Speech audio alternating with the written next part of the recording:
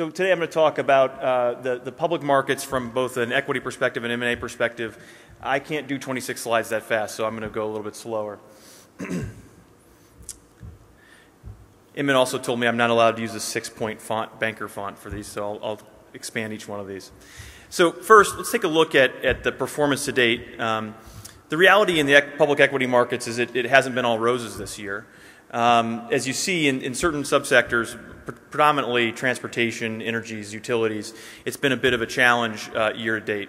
Healthcare has actually hung in there uh, with, a, with a positive performance uh, this year at, uh, at just shy of 5%. Um, the reality is a few months ago that was, that was uh, substantially higher. Healthcare has actually taken a fair amount of the brunt in the most recent pullback, and we'll talk about that in a little bit. What you see here is actually um, an important slide around the, the, volatility index over the course of 2015. What you see is for, the first really seven and a half, eight months of 2015, relatively flat or normalized volatility. And what happens during that time is we've actually had, to the point that John made, a significant amount of new issuance, right? IPOs, follow-ons, um, across healthcare, technology, et cetera. But when we got to, into, into August, you see the spike substantial. Now, most of us remember that because over several weeks' period of time, we saw the Dow move uh, a couple thousand points down, back up, down, back up. And, and what that really does is two things, right? So we may look at that and say, well, net of that was actually zero, or actually in some cases still a positive market. But that volatility does two important things in terms of, of equity issuance. First, when you're in the middle of it, for most of these investors, they stop focusing on new investments, right? They start focusing on managing the volatility within their existing portfolio of investments. And that's why you see a change, and we'll talk about this later, in terms of the outcomes of these deals. At that point, they also really start changing their sentiment. And there's a human dynamic here, right? So the silver lining on this page is if you look today, volatility is back to normal levels, actually quite attractive levels, and you'd expect a return of issuance to correspond with that. But there is a human element here that is sentiment driven. And so when investors go through a shock like they did in August and September, which by the way is one of the worst volatility periods we've had in the last six years, that lasts. And that's what we're still seeing today in terms of not nearly as much new issuance going into the marketplace. The other piece of the equation for investors is to think about fund flows, right? 2013 and 14 from a public equity market perspective or public equity investor perspective was very strong in terms of fund flows. Almost 250, a little more than 250 billion dollars went into U.S. equity funds during those, that two-year period of time. In the second quarter and third quarter combined, we actually saw a significant amount of that capital come out of these funds to the tune of about 107 billion. This again they still are very awash in cash, especially with some of the M&A we were talking about. A lot of that money's come back into their funds. But this plays on the psyche as well in terms of looking at new deals and how they're thinking about deploying new capital. Finally, we look at the, during the third quarter, as we think about going forward, where is corporate America from an earnings perspective, the health of, of corporate America, the actual facts. What you see on the blue bars is that about a third of the companies thus far reporting in the third quarter have actually exceeded expectations on the revenue and 70% on the earnings. But about half have actually disappointed. The way I read this is you actually this is this is a mixed report. You can't see a trend from this in terms of where corporate America's uh, health is uh, coming out of the third quarter, which in turn for most investors says they want to stay relatively neutral in terms of how they're thinking about exposure and what they're doing. So where do we go from here in the equity market from a, from a macro perspective? Well, the pessimists and optimists at this point in the cycle have a, about an equal weight, and that's why you're seeing day in and day out a bit of a push and pull in the, in the markets.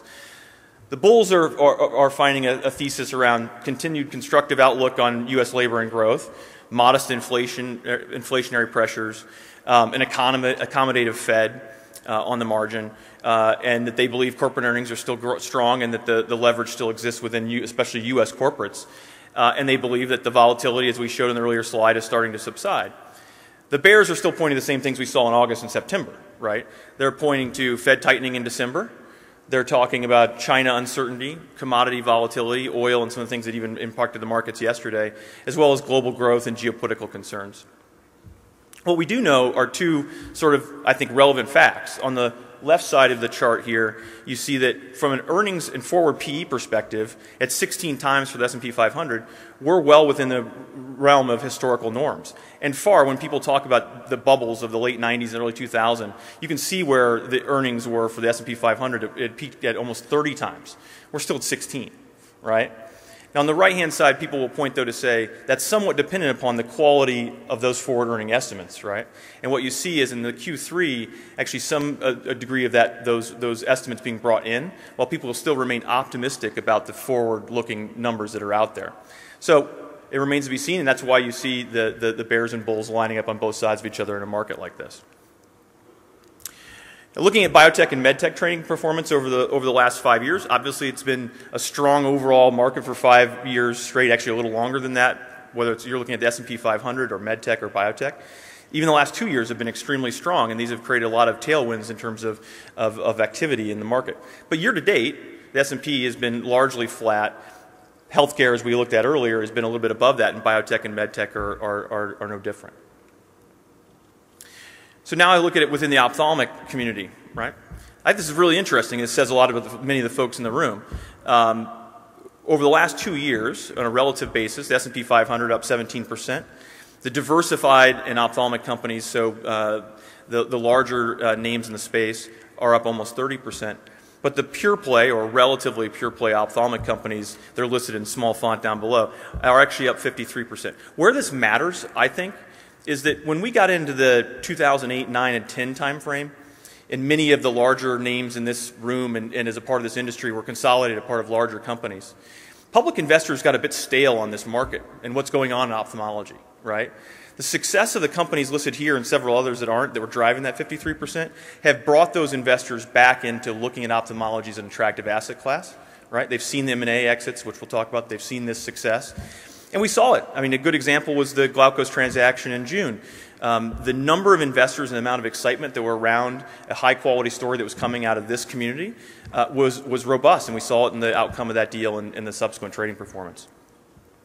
From an M&A perspective, John uh, spoke to it, so I'll, I'll, go quickly through this. In the way we, we look at this data, MedTech M&A has actually been relatively consistent since 2010. You're seeing about uh, 45 to 50 deals get done a year of various sizes. On the biotech side, it's a bit it's, it's, fewer because those tend to go into the public markets first, but you're seeing somewhere 15 to 20. In 2015, you did see thus far a pretty big spike in the biotech M&A. And from an ophthalmology perspective, this is not all the deals that have been done, but obviously you see a good mix of transactions both on the private side as well as the larger public side getting done. From an IPO perspective, the blue bar again, biotech, Obviously, 2014 is a year we've never seen before, right, in terms of, of new IPOs on the biotech side. 64 deals got done. Even this year, with a pullback at 33, is the second largest number of IPOs that have been done in that sector in the last 10. MedTech had been gone, gone through a long period, a long quiet period. But in 2014, we saw that recovery and we saw those IPOs getting done, and most of those have performed quite well, which gives us a, a, fair amount of confidence in terms of continued success for MedTech IPOs. So it is worth, though, looking at where we're at today. And, and, one of the ways we measure the health of, of the new issuance, issuance market is to look at the outcomes of IPOs, right? Over time, whether you look at it 2014 or 15, and this is the outcome of the IPO relative to the pricing range that was initially established, you see a, a good mix, as you'd expect. About a third of those companies get done above the range that they initially wanted to, about a third get done within it, and about a third get done below. And over the course of 2015, you saw that trend still largely holding true until we got to the period of volatility we were talking about. And what's happened in September and October is not only have the number of deals pulled back, um, but you've seen uh, outcomes markedly change. So it's that in October we actually had 100% of the deals fell below the range. Ophthalmology has, has had a bit of a renaissance in the public markets, right? Um, after many years of, of limited uh, new issuance, we've seen uh, at least nine companies, or I think there's probably a few more, um, that have gone public over the last uh, couple years, most of which are having uh, a, lot of success in the, in the public market. And as I said earlier, that's driving uh, renewed interest in, in, uh, in, in, new company stories. And finally, uh, you know, when I think about key success factors uh, going forward for especially the private companies here and going uh, from a public market perspective, I say it's not fair, but biotech and medtech have a different set of standards, right? From medtech perspective, it's still all about scale, growth, de-risking from a reimbursement FDA perspective, having a, a, a, tangible pipeline that folks can, can get behind when they think about longer term models. But on the biotech side, it's much more about valuable lead products that they can see the market potential and the positioning uh, over a longer period of time. I think I'm out. Well, I'll leave one last thing, which is something John said. The critical component we're seeing more in the last two years than we've ever seen before is the crossover investor. John had great stats on that. It's become the path to an IPO. Uh, for most successful stories, they've had that. So thanks for the time. Thanks, Emmett. Appreciate Thank it. You.